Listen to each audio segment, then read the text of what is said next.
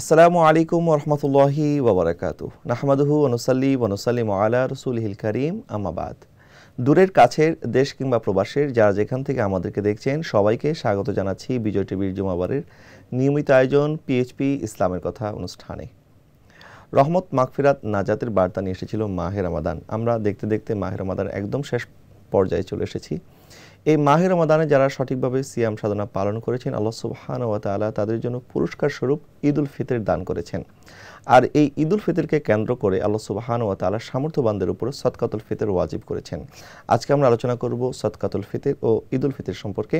আর এই গুরুত্বপূর্ণ বিষয় দুইটি নিয়ে আলোচনা করার জন্য আমাদের স্টুডিওতে আমন্ত্রিত হয়ে উপস্থিত আছেন আপনাদের পরিচিত মুখ মোহাম্মদ প্রস্ত কাদরিয়া তৈবিয়া, কামিল মাদ্রাসার সমাহিত উপাধ্যক্ষ হজরতুল আল্লামা মুফতি আবুল কাশেম মোহাম্মদ ফজলুল হক।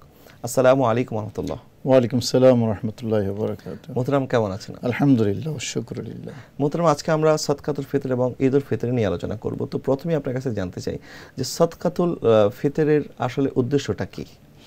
ধন্যবাদ আপনাকে। পবিত্র মাহ রমদানের একেবারে শেষ লগ্নে প্রায় আমরা দর্শক শ্রোতা সবাইকে স্বাগত জানাচ্ছি। আজকের অনুষ্ঠানে আমরা সাদকাতুল ফিতর এবং ঈদ উল ফিতর দুটি বিষয়ে খুব কাছাকাছি বিষয়বস্তু আল্লাহ পাক রব্বুল আলমিন তার বান্দাদেরকে পবিত্র মাহে রমাদানের সিয়াম সাধনা ফরজ করেছেন। জি। এবং এটা অপরিহার্য একটি ইবাদত ইসলামের পাঁচটি গুরুত্বপূর্ণ স্তম্ভের মধ্যে একটি। এই কাজটি করতে গিয়ে অন্যান্য সকল কাজের মতো মানুষের জীবনে ভুলভ্রান্তি হওয়া খুব স্বাভাবিক। পবিত্র মাহে রমাদানের সিয়াম সাধনা এটা এতই একটা গুরুত্বপূর্ণ কাজ এতই একটা গুরুত্বপূর্ণ ইবাদত আল্লাহ আমাদেরকে দিয়েছেন বলেছেন যে মান সামা রমাদানা ইমান ও এহতেসাবা গুফির আলহুমা তাকাদ্দামা মিন দাম্বে। যারা ইমান সহকারে এবং সওয়াব প্রাপ্তির আশায় সিয়াম সাধনা করবে আল্লাহ তাদের পূর্বের সকল গুণা মাফ করে দেবেন। এবং অন্য আরেকটি হাদিসে এমনটি বলা হয়েছে যে সে নবজাতক শিশুর মতো হয়ে যাবে। এই যে গুরুত্বপূর্ণ এবাদতটি করার ক্ষেত্রে আমাদের যদি কোনো ভুল ভ্রান্তি হয় জি। এটা হলো একটা বিষয় এবং এটা খুব স্বাভাবিক। ইসলাম ধর্মে মানুষের সিয়াম সাধনাকালীন সম্ভাব্য ভুল ভ্রান্তিগুলো রিকভারি করার জন্য এগুলাকে মাপ করে সিয়ামটাকে পরিপূর্ণ পরিশুদ্ধ করে আল্লাহর কাছে পাঠাবার জন্য পরিশোধনের যে ব্যবস্থাপনা শরীয়তের দৃষ্টিকোণ থেকে সেই ব্যবস্থাপনার নাম হলো সদকাতুল ফিতর। জি। আপনি যে উদ্দেশ্যের কথা বলেছেন এক নাম্বার। দ্বিতীয় নম্বর উদ্দেশ্য হলো সামনে ঈদ। ঈদ মানে আনন্দ আমরা সবাই জানি। ধনী গরিব ছোট বড় নারী পুরুষ এখানে সেখানে গ্রাম শহর। সকল জায়গায় এই আনন্দটা যাতে সবার জন্য সমানভাবে প্রযোজ্য হয় জি। ইসলাম সেই আদর্শ এবং সেই দর্শনে বিশ্বাস করে। এখন আনন্দের সাথে বা মানুষের মানসিক যেই পূর্তি আনন্দ এটার সাথে টাকা পয়সার একটা সম্পর্ক কিন্তু আছে। কারণ আপনি যখন আনন্দ করতে যাবেন আপনার জামা কাপড় থেকে শুরু করে খাবার দাবার পরিপাট্য সব কিছু অর্থনৈতিক ইনভলভমেন্ট আছে সেখানে। তো এখন সমাজের মধ্যে দুই শ্রেণির মানুষ থেকে ধনী এবং গরিব। তো ধনী শ্রেণির মানুষ যারা মোটামুটি সলভেন্ট যারা তারা কেউ কম কেউ বেশি একটা নতুন জামা কিনতে পারছে জি। ভালো খাবারের ব্যবস্থা করতে পারছে ভালো সুন্দর পরিপাট্য সাজগোজ করার সুযোগ পাচ্ছে। কিন্তু দ্বিতীয় শ্রেণি গরিব শ্রেণি যারা তাদেরও যাতে খাবারের সংস্থান হয় তারাও যাতে সাধ্যমতো সামর্থ্য অনুযায়ী একটু টাকা পয়সা হাতে পেলে একটা নতুন জামা নিজের জন্য নিজের ছোট বাচ্চাদের জন্য পরিবারের সদস্যদের জন্য কিনতে পারে। তো তাদের হাতে যাতে কিছু যায় সমাজের পক্ষ থেকে ধনী শ্রেণির পক্ষ থেকে সাতকাতুল ফিতির দ্বিতীয় উদ্দেশ্য হলো এটা। অর্থাৎ ঈদের আনন্দটা যেন ভাগাভাগি করে সবাই উদযাপন করতে পারে। সাদকাতুল ফিতরের দুটো উদ্দেশ্য নবীজি বলেছেন। একটা হলো তোহরাতান লিসিয়াম মিনার রফাসে মিনার লাগবিয়ার রফাস ও তোমাতান লিল মাসাকিন। আবু দাউদ শরীফের হাদিস। যে দুটি উদ্দেশ্যে একটা হলো আমাদের সিয়াম পালনে ভুল ভ্রান্তিগুলো যাতে পরিশুদ্ধ হয়ে যায়। দ্বিতীয় নম্বর গরিব দুঃখী মানুষ যারা আছে তারাও যাতে ভালো কিছু আর্ন করতে পারে ভালো কিছু নিতে পারে জি। ঈদের জন্য। ঈদের দিন সকালে মানে পহেলা সওয়াল রমজানের পরবর্তী দিন সকালবেলা কারও কাছে যদি নেশাব পরিমাণ সম্পদের মালিকানা থাকে যেই নেশাবটা জাকাতের নিসাব ওই নেশাব পরিমাণ সম্পদের মালিকানা যদি কারও থাকে জি। ঈদের দিন সকালে তাহলে সেই ব্যক্তির উপর তার নিজের পক্ষ থেকে এবং তার অপ্রাপ্ত বয়স্ক তার উপর যাদের দায় দায়িত্ব আছে জি। তাদের পক্ষ থেকে তিনি সৎকাতুল ফিতির আদায় করবেন। বলছিলাম তো জাকাতের হিসাবটা যদি একটু ভেঙে বলতেন। জি জাকাতের নিসাব আর সৎকাতুল ফিতরের নিসাব যেহেতু সমান জি। জাকাতের নিসাব হলো স্বর্ণের হিসাব করলে সাড়ে সাত তোলা স্বর্ণ আর রূপার হিসাব করলে সাড়ে বাহান্ন তোলা রূপা। জি। অথবা সেই পরিমাণ অর্থ সম্পদ বা ব্যবসায়িক সম্পদ যদি কারও কাছে থাকে সেই সমান মূল্যমানের। তো রূপার হিসাব করি আর স্বর্ণের হিসাব করি যেই হিসাবেই আমার নেশাব পরিপূর্ণ হয় সেই নেশাবটা যদি আমার শুধু ঈদের দিন সকালে আমার মালিকানায় থাকে অর্থাৎ এটা এক বছর কন্টিনিউ করা লাগবে না। জাকাতের মতো জাকাতের মতো। জাকাতে কিন্তু এক বছর কন্টিনিউ করলে আফটার ওয়ান ইয়ার আপনার উপর জাকাত ফরজ আদায় করা ফরজ। কিন্তু সাদকাতের ফিতরের বিষয়টা হলো একদিন আগেও আপনার কাছে সম্পদ ছিল না কিন্তু ঈদের দিন আপনার কাছে সম্পদ চলে আসছে বা ঈদের আগের দিন আসছে বা দশ দিন আগে আসছে বা এক মাস আগে আসছে নো প্রবলেম ওই ঈদের দিন যদি আপনার মালিকানায় সেই সম্পদটা থাকে তাহলে আপনাকে জাকাত দিতে হবে। এবং আমার উপর কারা কারা ডিপেন্ডেন্ট শরীয়তের দৃষ্টিতে? নাবালক সন্তান। যারা নাবালক অপ্রাপ্ত বয়স্ক সন্তান এরা আমার উপর শরীয়তের দৃষ্টিতে ডিপেন্ডেন্ট এবং শরীয়তের দৃষ্টি যদি কৃতদাস থাকে আমাদের দেশে কাজের বুয়া বা কাজের ছেলে নয় কিন্তু কারণ এরা পেড সার্ভেন্ট সার্ভেন্ট তো শরীয়তের দৃষ্টিতে কৃত দাস দাসী যদি থাকে যেটা আমাদের দেশে নাই এবং অনেক দেশেই নেই পৃথিবীর এখন। দাসত্ব মুক্তি ইসলাম উৎসাহিত করেছে। মনে করেন একই যৌথ ফ্যামিলির মধ্যে আমি আছি আমার ভাই বোন আছে ছয় সাত দশজন আমার মা বাবা আছে সবাই প্রাপ্তবয়স্ক। এখন আমি নাসাব পরিমাণ সম্পদের মালিক আমার বাবার সম্পদ নাই আমার ভাইয়ের সম্পদ নাই আমার বোনের সম্পদ নাই। সেক্ষেত্রে তাদের পক্ষ থেকে আমার আদায় করতে হবে। না এই কারণে তারা প্রাপ্তবয়স্ক কিন্তু নেশাব পরিমাণ সম্পদের মালিক নয়। কিন্তু আমার সন্তান যদি অপ্রাপ্ত বয়স্ক হয় তাহলে তাদের পক্ষ থেকে আমাকে আদায় করতে হবে। কারণ আমি ধনী আমার অপ্রাপ্তবয়স্ক সন্তান ধনী। আর আমার সন্তান যদি প্রাপ্তবয়স্ক হয়ে যায় সেক্ষেত্রে তাদের হিসাব তাদের স্বতন্ত্র হিসাব। তাদের সম্পদ যদি থাকে তাদের উপর ওয়াজিব। সম্পদ না থাকলে তাদের উপর ওয়াজিব নয়। মূল বিষয়টা হলো প্রাপ্তবয়স্ক সম্পদশালী নেশাব পরিমাণ যারা মালিকানা থাকবে ঈদের দিন তাদের উপর সাতকাতুল ফিতর আদায় করা ওয়াজিব। জি প্রথমে আমরা আরও আলোচনা করব ইনশাআল্লাহ বিরতি থেকে ফিরে। দর্শক আপনারা দেখছেন পিএইচপি ইসলামের কথা। যাচ্ছি ছোট্ট একটি বিরতিতে ফিরছি কিছুক্ষণ পর। আমাদের সাথেই থাকুন।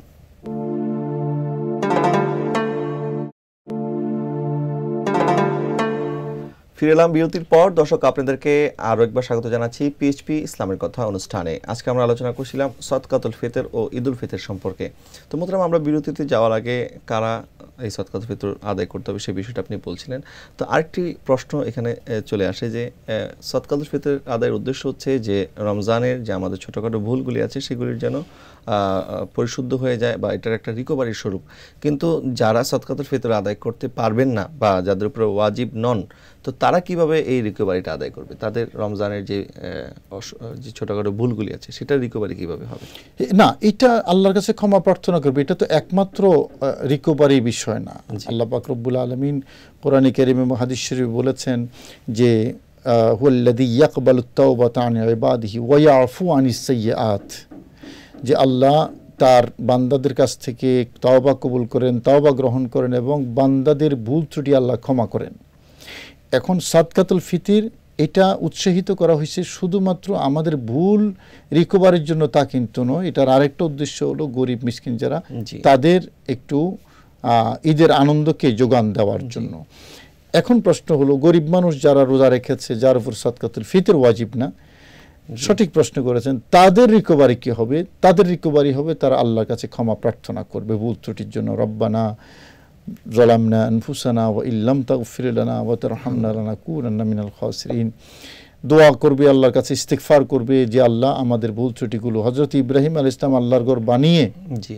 আল্লাহর কাছে দোয়া করছেন রব্বানা তাকাব্বাল মিন্না ইন্নাকা আনতাস সামিউল আলিম। কত বিশাল একটা ঐতিহাসিক কাজ করেছেন। জি। আল্লাহর ঘর বাইতুল্লাহ নির্মাণ করে আল্লাহর কাছে দোয়া করেছেন আল্লাহ। করেছি আমি এটাই শেষ কথা নয় শেষ কথা হলো তুমি যদি কবুল করো।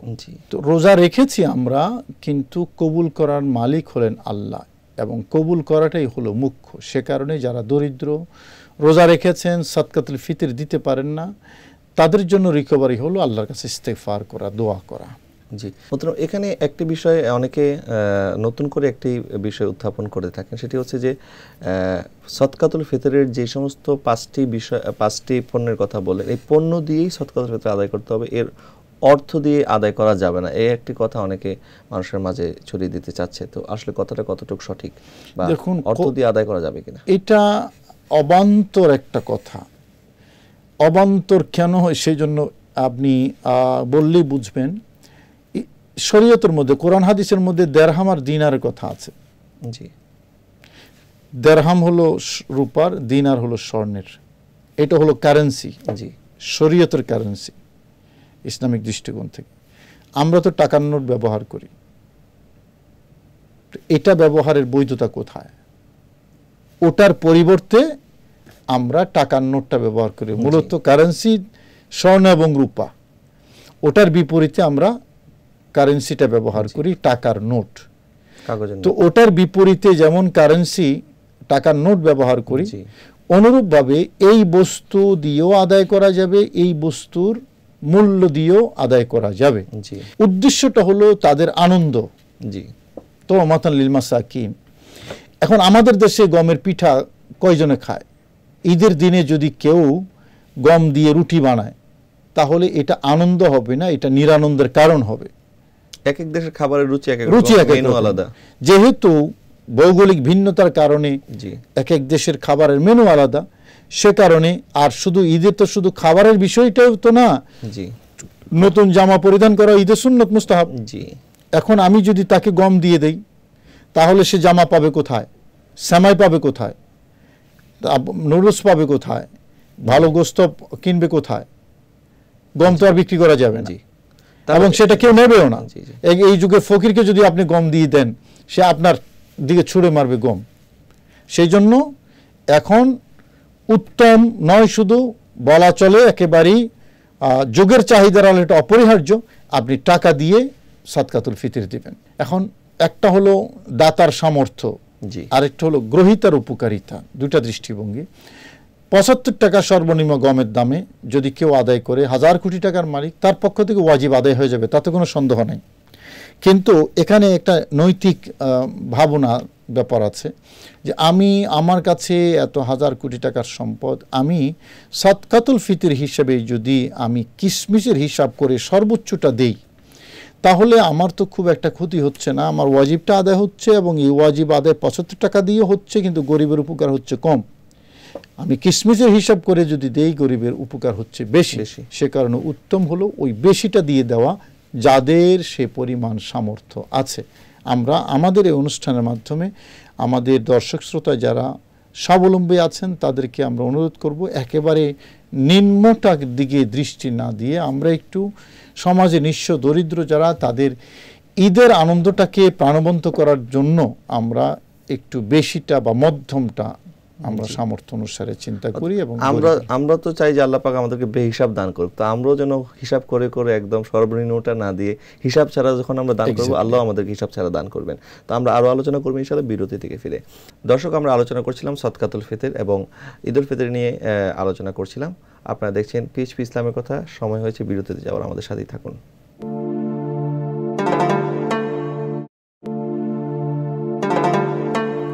ফিরে এলাম বিরতির পর। দর্শক, আপনাদেরকে আরও একবার স্বাগত জানাচ্ছি পিএইচপি ইসলামের কথা অনুষ্ঠানে। আজকে আমরা আলোচনা করছি সৎকাতুল ফিতর এবং ঈদ উল ফিতর সম্পর্কে। তো মোতরাম এই সৎকাতুল ফিতর আদায় করার সময়টা আপনি বলেছিলেন যে ঈদের আগে। তো কেউ যদি ঈদের আগে আদায় করতে না পারে তাহলে কি ঈদের পরে এটা আদায় করতে পারবে কিনা? অথবা এটা কি ঈদগায় যাওয়ার সময় আদায় করতে হবে নাকি এর আগেও আদায় করা যাবে?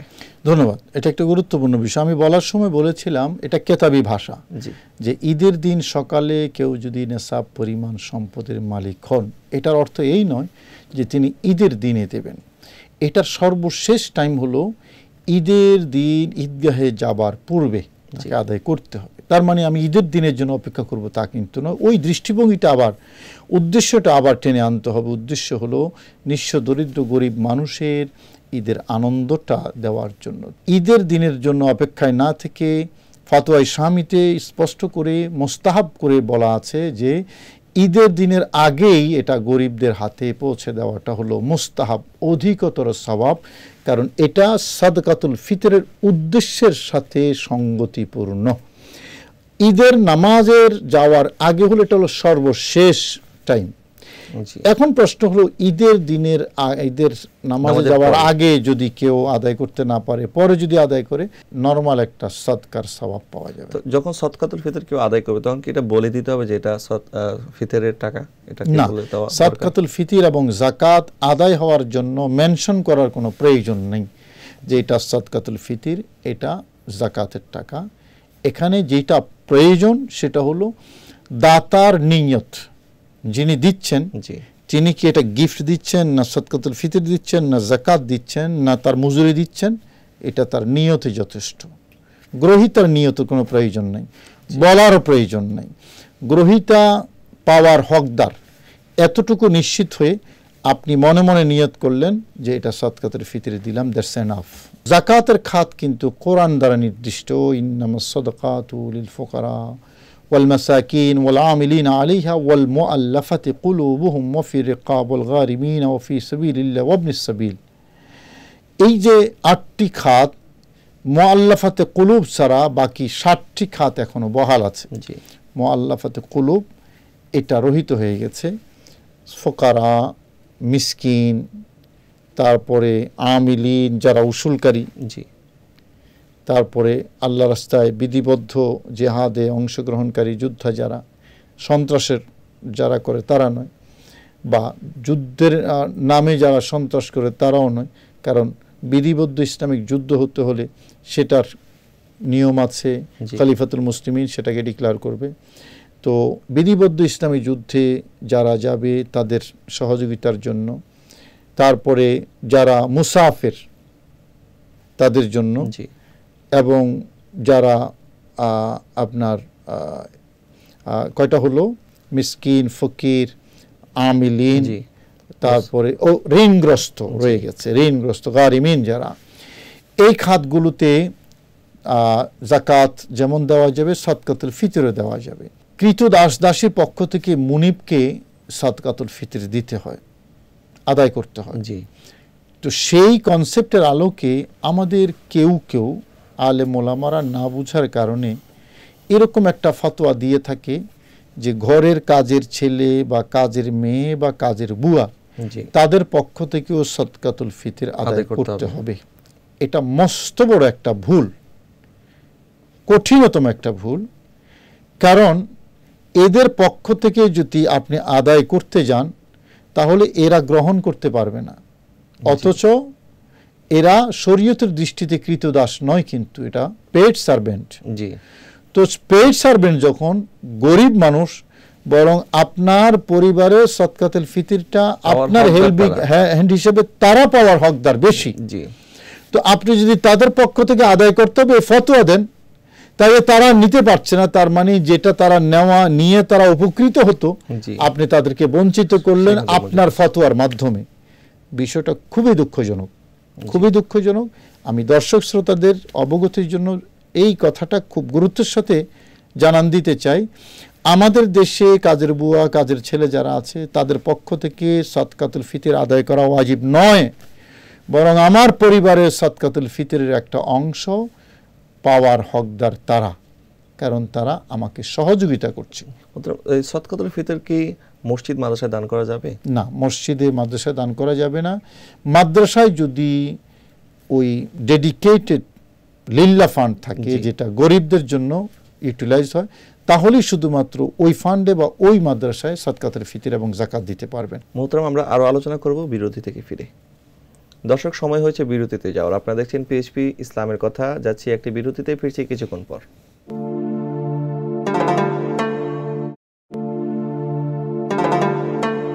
ফিরে এলাম বিরতির পর। দর্শক, আপনাদেরকে আরও একবার স্বাগত জানাচ্ছি পিএইচপি ইসলামের কথা অনুষ্ঠানে। আজকে আমরা আলোচনা করছিলাম সাদ কাতর ফিতর ও ঈদুল ফিতর সম্পর্কে।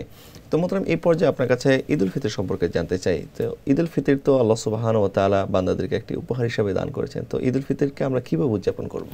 দেখুন, ঈদ, আনন্দ, এক মাস সিয়াম সাধনা করার পরে আমাদেরকে আল্লাহ যে নিয়ামতটা দিয়েছেন, হাদিস শরীফে আছে লিসয়ম ফারহাতান ফারহাতুন ইন্দা ফিত্রিহি ও ফারহাতুন ইন্দা লেকায় রব্বিহি। এই যে নবীজির এই হাদিস ফারহাতুন ইন্দা ফিত্রিহি একটা আনন্দ হলো ঈদুল ফিতরের আনন্দ। জি।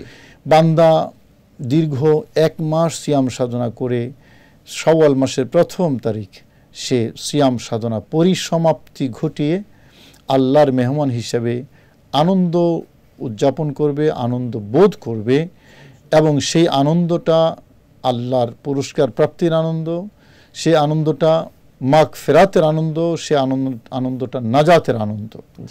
রসুল করিম সাল্লাহ তাল আলী ওসাল্লামার প্রদত্ত এই ঈদ এই কথাই প্রমাণ করে যে ইসলাম শুধু কান্নাকাটির ধর্ম নয় এখানে আনন্দ আছে বিনোদন আছে নান্দনিকতা আছে। বাকি ঈদের ইসলামের যে ঈদ সেই ঈদের আনন্দটা এটা পরিশীলিত এবং পরিমার্জিত একটা আনন্দ। নবীজি হাদিস শরীফে বলেছেন লেকুল্লি কৌমিন ঈদ ওয়াহাদ ঈদুনা।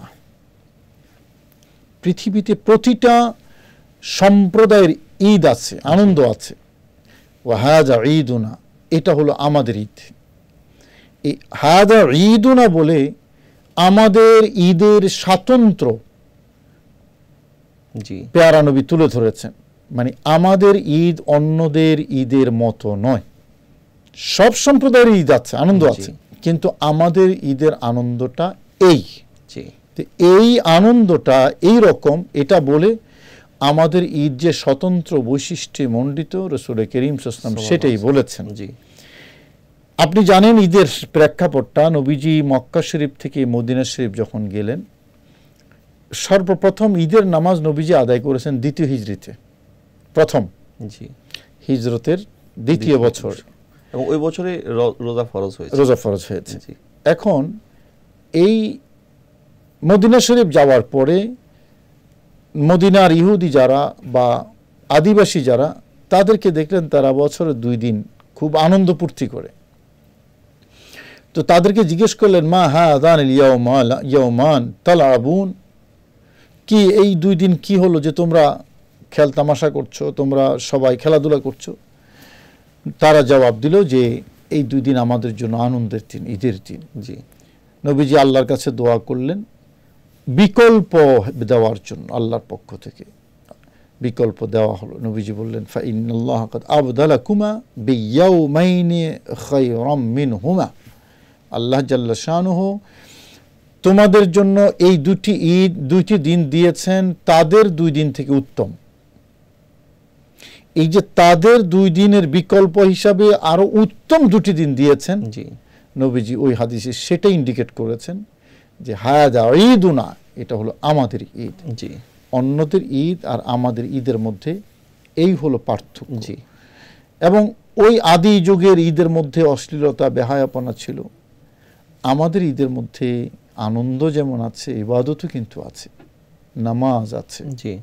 দান সাদকা আছে সাদকাতুল ফিতির আছে মানবিকতা আছে সৌহার্দ্য আছে প্রেম ভালোবাসা আছে সহমর্মিতা আছে। সুবহানাল্লাহ। তো ঈদের নামাজটা নিয়ে আমাদের অনেকের কনফিউশন থাকে যেহেতু বছরে কেবল দুইবারই আমরা এই ঈদের নামাজটি আদায় করে থাকি। তো ঈদের নামাজের বিধানটা নিয়ে যদি বলেন ঈদের নামাজ কি আদায় করতেই হবে কিনা? দেখুন ঈদের নামাজ ওয়াজিব।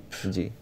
দুই রাকাত ঈদের নামাজ। পড়ার পদ্ধতিটাও যদি একটু বলে দিতেন। ঈদের নামাজটা হলো ওয়াজিব ঈদুল ফিতর এবং ঈদুল আজহা জি। আমরা ঈদের নামাজ আদায় করার পদ্ধতিটা একটু আপনাদেরকে দেখিয়ে দিতে চাই। প্রথমে নিয়ত। নিয়তটা বাংলায় করা যায়। আমি এই ইমামের পেছনে ক্যাবলামুখী হয়ে অতিরিক্ত ছয় তকবীরের সাথে দুই রাকাত ঈদ উল ফিতরের ওয়াজিব নামাজ আদায় করছি। আল্লাহ আকবার বলে নিয়ত বাঁধলাম। আর যদি আরবিতে নিয়ত জানা থাকে, খুব ভালো। নামায়তে অনুসলি আলিল্লাহি তাআলা রাকাত সলাত ঈদ উল ফিত্র মা সিত্তে তাকবীরাতিন ওয়াজিবিল্লাহি একটা দায়িত্ব বিহাদিল ইমাম। মোতাবাজ্জাহ ইলা জিহাতিল কাবাতিশ শরীফাতি, আল্লাহু আকবার। নিয়ত বাঁধার পরে আমরা সানা পড়ব সবাই, ইমাম মুক্তাদির সবাই। এরপরে পরপর তিনটা তাকবীর হবে। সানার পরে, জি, তিন তাকবীরে হাত এভাবে নিচের দিকে ছেড়ে দেব। আল্লাহ আকবার, আবার ছেড়ে দেব। আবার আল্লাহ আকবর বলব, আবার ছেড়ে দেব। তৃতীয়বার আল্লাহ আকবর বলে হাত বাঁধ বাঁধবেন। মুক্তাদির দায়িত্ব প্রথম রাকাতে শেষ। ইমাম সাহেব সুরে ফাতেহা পড়বেন কেরাত পড়ে রুকুতে যাবেন সেজদা করবেন সেজদা থেকে উঠবেন দ্বিতীয় রাখাতের জন্য। দ্বিতীয় রাখাতে উঠে সুরে ফাতেহা পড়বেন এবং আরেকটা সুরা মিলাবেন। মিলিয়ে রুকুতে যাবার আগে ওই পূর্বের নিয়মে আবার তিনটা তাকবীর। আল্লাহ আকবার হাত ছেড়ে দিতে হবে। জি। আবার আল্লাহ আকবার হাত ছেড়ে দেব। আবার আল্লাহ আকবার তৃতীয় তকবীর। চতুর্থ তকবির হবে রুকুর তকবির। চতুর্থ তকবির বলে আমরা রুকুতে যাব। এরপরে সেজদা তাসাহুদের মাধ্যমে দুই রাকাত নামাজ শেষ হবে। জি। এই হলো আহ, ঈদ উল ফিতর এবং ঈদ উল আজহার নিয়মের পদ্ধতি। শুধু নিয়তের মধ্যে পার্থক্য। বাকি পদ্ধতি কিন্তু অভিন্ন। নামাজ শেষ হওয়ার সাথে সাথেই খোদবার প্রসঙ্গে এসে যায়। ইমাম সাহেব খোদবার জন্য দাঁড়াবেন। মুসল্লিরা পিনপতন নীরবতা নিয়ে খোদবার শুনবেন। অনেক জায়গায় দেখা যায় মোতারাম যে নামাজ শেষ হওয়ার পরে মুসল্লিরা বের হয়ে যাওয়ার একটা তাড়াহুড়া করে। এটা কি খোদবা শোনা ওয়াজিব। জি। ঈদের নামাজের খোদবা দেওয়া সুন্নত কিন্তু খোদবার শোনাটা কিন্তু ওয়াজিব। আর জুমার নামাজের খোদবা এটা হলো শর্ত ফরজ। সেটা শোনাও কিন্তু ওয়াজিব। ওয়াজিব। মানে কঠিন ওয়াজিব শক্ত ওয়াজিব যেটাকে ফরজ আমলই বলা হয়। সুতরাং একেবারে মিনিমাম হলেও খোদবাটা শুনে তারপরে যেতে হবে এবং শুনতে হবে নীরবতা নিয়ে মনোযোগ দিয়ে। ওখানে কোনো কথাবার্তা বলা যাবে না। খোদবার সময় কথাবার্তা বলা এটা শক্তভাবে হারাম নিষিদ্ধ একটা কাজ। এটা জুমার খোদবা হোক আর ঈদের খোদবা হোক। খোদবা শেষ করে আপনার দোয়া মোনাজাত করবেন ঈদ মিলাদ মোনাজাত করে তারপরে যাবেন কুশল বিনিময় করে তাড়াহুড়ো তো নয় আনন্দটা তো ওখানেই। জি। আমি যদি নামাজটা পড়ে নীরবে বাসায় চলে গেলাম ঘরে চলে গেলাম তাহলে তো আন- আনন্দটা জমলো না। জি। আমরা একই কাতারে একই জায়গায় ধনী গরিব সকলেই দাঁড়ালাম যে ঈদের নামাজ পড়ার জন্য ঈদের নামাজ আদায় করার জন্য। তো আনন্দটাই তো হলো না। সে কারণে ঈদের নামাজ শেষ করে খোদবা পড়ে মিলাদ শরীফ পড়ে সবাই সবার জন্য দোয়া করব দোয়া দেশের জন্য করব নিজের জন্য আত্মীয় স্বজন আপনজন মৃত ব্যক্তি যারা সবার জন্য দোয়া করব এবং এটাকে ইয়ামুল জায়েজা বলা হয় কিন্তু। জি প্রতিদানের দিন। প্রতিদান গ্রহণ করার দিন। জি। এক মাস আমি কাজ করেছি ডিউটি পালন করেছি আজকে আমার সেই এক মাসের পারিশ্রমিক প্রতিফল প্রতিদানটা গ্রহণ করার দিন এবং সেই প্রতিদানটা গ্রহণ করার জন্যে ঈদগাহে আল্লাহ পাক রব্বুল আলমিন আহকামুল হাকিমিন আমাদেরকে ডেকেছেন। আপনাকে অসংখ্য ধন্যবাদ এবং আপনাকেও পবিত্র ঈদ উল ফিতরের শুভেচ্ছা জানাচ্ছি। আপনাকেও শুভেচ্ছা এবং দর্শক শ্রোতা সবাইকে শুভেচ্ছা জানাচ্ছি। দর্শক, আমরা এক মাস সিয়াম সাধনা পালন করি আল্লাহ সুবাহতালার পক্ষ থেকে এই ঈদ ঈদ ফিতর আমরা পেয়েছি। আমরা এই ঈদ উল ফিতরকে যথাযোগ্য মর্যাদা উদযাপন করব। পাশাপাশি যারা ঈদ উল ফিতরের আনন্দ উপভোগ থেকে বঞ্চিত, অর্থাৎ যাদের সামর্থ্য নেই, সেই সমস্ত সামর্থ্যহীন ব্যক্তিদের পাশে আমরা দাঁড়াবো, অসহায়দের পাশে আমরা দাঁড়াবো, আমাদের ঈদের খুশিটা তাদের সাথে ভাগাভাগি করে নেব।